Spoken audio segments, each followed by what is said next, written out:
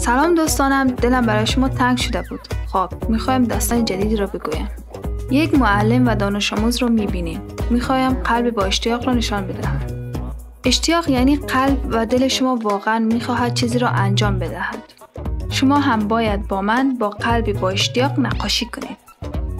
خب بیایید به داستان گوش بدید در مدرسه ما معلمی بود که همیشه به شور اشتیاق درس می‌داد. یکی از دانش آموزان اول هیچ رویایی نداشت اما وقتی معلمش را دید شروع کرد برای به دست آوردن یک رویا.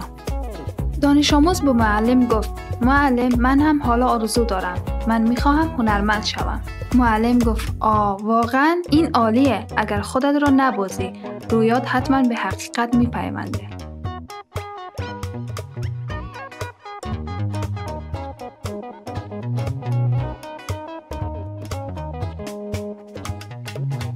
بیایید معلم را نقاشی کنیم.